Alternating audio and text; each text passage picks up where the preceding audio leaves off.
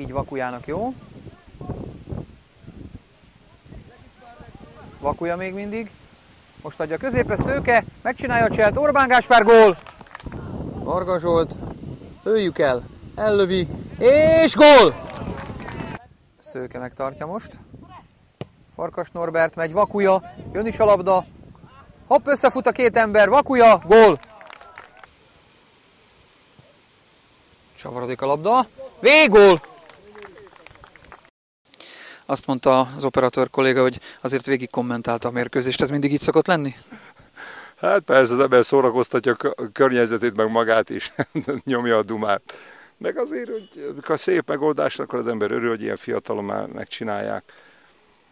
Ha meg valami szamársággal, akkor meg az ember kis iróniával valamit benyom.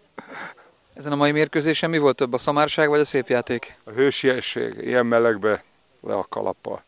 Jó volt ilyen negyed órás szünetenként vizet vettem magukhoz, a srácok meg megvizezték a fejüket, hát hőkutát lehet kapni, csoda, hogy ilyen 5-2 volt. Hát ilyen melegben 5-2 kitűnő eredmény. Mind a két csapatnak gratulálni kell. 6-2 lett a vége. 6? Akkor egyet nem láttam. Akkor még fröccsöt ittam benne. Akkor lehetett frissíteni. Egyébként elég sok mérkőzést megnéz a fiatal meccseket. Amikor, amikor a idő megengedi, meg ráfér az ember egy kis kikapcsolódás. És az aktív játék, az megy még? Hát persze. Héten is volt két foci, egyik edzés, a másik meccs. Tegnap csak futóedzésem volt. Hát amikor lehet, meg amikor engedi a, a szervezet, mert azért ebbe a korban már 57 éves vagyok mindjárt. Ilyenkor már gyakran sérül az ember. Én szerintem minden nap futballoznék, csak a fizikum nem engedi. Müller barátom mondja mindig, hogy te, Szami, ilyenkor hetente egy kis nyújtás, egyszer és futással. Egy foci, egy tenisz, és még valami harmadik vagy negyedik kiegészítő. Nem lehet hetente háromszor, négyszer focizni, mint tehát lesérülsz, hát nem bírja már, nem tudja kipérni magát. Ugye a fordulások és az indulások, ezek, ezek ne, ahhoz, hogy sokat kell futni, az még megy, de a forgás meg a gyors leállás, indulás ott van a baj ebben a korban már. Hát gondolom, hogy a szellemi frissességhez kell a sport. Az, igen, az, a szellemi frissesség az nagyon fontos, és az ember pláne itt a focipályán akkor ez másfajta szellemi frissességet igényel, mint a színház, úgyhogy az embernek ez jó feltöltődés. Világbajnokság mérkőzéseit nem nézi, inkább választ egy ifjúságit? De borzasztó rossz meccs volt, azt hittem, hogy két világbajnok jót fog játszani, Uruguay és franciák. Hát úgy látszik, hogy a Domanes ez nem tudja összerakni őket sehogy se. Uruguay ahhoz képest jól játszott, ahhoz képest jól játszott. Viszont látása csak a... Hát majd a jó meccsek most jönnek, máma, mindjárt jön a Nigéria meccs, az már valami lesz. Este talán az angol-amerikai meccs, az már valami. Dán is, az is, az is talán, az is már egy jobb meccs. Kinek szorít egyébként a VB-n? A történő Magyarország elcsatolt területeinek szurkolok. Szlovéniának, Szlovákiának, Szerbiának. Azon kívül pedig a braziloknak mindig, a gomfoci csapatom is brazil. Hát szépen játszanak, megéri őket. A szép játék mellett, de mondjuk nem lepődnék meg, ha egy angol-spanyol döntő lenne. Nem lepődnék meg, abszolút nem. Vagy valamelyik, valamelyik afrikai odaérne négybe, végre. Annak nem, nem lep, most Afrikában nem lepődnék meg, mondjuk a elefántcsontpart, Nigéria odaérne esetleg. Nigéria talán nem annyira, talán a Kamerun inkább, mint a Nigéria. Majd meglátjuk. Azért úgy veszem ki ezekből a csapatokból, hogy a játszó focit kedveli jobban. Abszolút. Úgy utálom a... Megemelem a kalapomat az Inter előtt, amit, amit csinált most a, a BL-ben, de hát az egy, az egy, az egy taktikus, nem szemedgyönyörködtető célfutball. Akkor már inkább én Öcsi bácsi miatt a Real drukkerséget helyezem előtérbe, hogy a Reálnak drukkolok, de hát az a Barcelona, ami tavaly nyert, az szépen, az szépen fut, az futballozik az szépen.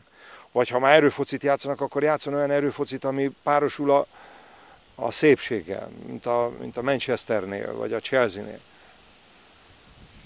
Hát majd meglátjuk, hogy melyikből mi, mi lesz itt a miénk közül. Sokan visszasírják még mindig a színész újságíró mérkőzéseket, ami annak idején még a Népstadionban volt. Lehet még ennek valami folytatása? Mindig van.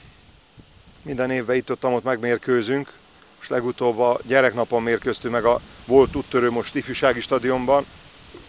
és nyertünk is, azt hiszem 3 0 Hát néha ők nyernek, néha mi. Az az igazság, hogy az egy más világ volt. Akkor nem lehetett csak három évente külföldre menni. És az nagy népi happening volt, hogy a Népstadionban énekeseket, színészeket, újságírókat, média személyiséget ott látott, és akkor egy, ugye egy csatorna volt. Végén már kettő, na, de hát ugyanaz volt, mert egyes, kettes. Meg a rádió, tévé szereplői, akkor a színészek, ott filmszínészek, énekesek, lehet őket személyesen találkozni velük, volt műsor, volt egy jópofa meccs, és a, és a foci is jobb volt Magyarországon. Amikor én 13-14 éve adtam át a Nem Csekarcsinak a csapatkapitányi posztot a színész válogatottba, hát én mikor átvettem a Bandi bácsitól, Komlós Bandi bácsitól, volt olyan mérkőzés, hogy 5000 néző volt rajtunk. Egy vidéki mérkőzés. Hát most elmegyünk vidékre futballozni, 3-400 ember összejön már nagy dolog. Néha összejön egy ezer. Valami jó pofa helyen, de az is inkább határon túl valahol. Hát régen összejött ránk 5000 ember. Máté Szalkán játszottunk, 5000 ember, Kisvárdán, vagy ilyen helyeken. A saját falumba, hegykön, 3000 ember volt. Falu 1500 fős. Nem lehetett parkírozni a faluba, még a környéken sem. Fantasztikus. Hát és akkor volt 80 ezer néző ugye annak idején a szúra. Most már más, más világ van. Már több csatorna van, itt, itt ott, ott mindenhol lehet találkozni a színészek, más világ van. Az emberek utaznak, jönnek, mennek, tehát már nem, már nem lehetne csinálni egy olyan. Összejön rá 5-6 ezer ember, arra meg volt erre kísérlete az MTK pályán, 5-6 ezer ember jött össze, talán 10 a 90-es évek elején. Már más világ van. Ha már a más világot említjük, mi lett volna, hogyha akkor van akadémiai rendszer, amikor ön még fiatal, milyen szintű labdarúgó lett volna? Hát ugye én a videóton Tarcsinál pusztítottam a füvet, fő, főleg a salakot, akkor a salakon edzettünk.